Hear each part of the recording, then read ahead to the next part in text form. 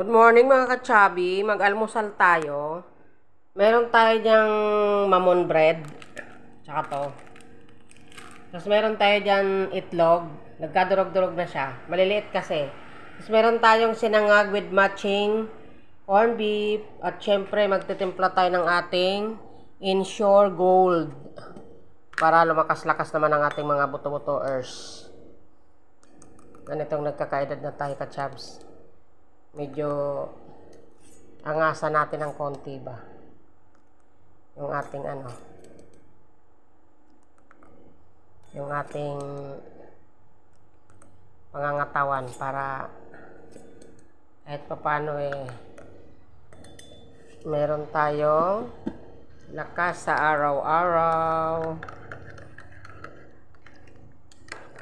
Ayun lang, mag-almusal tayo ka, Chops. Good morning, good morning.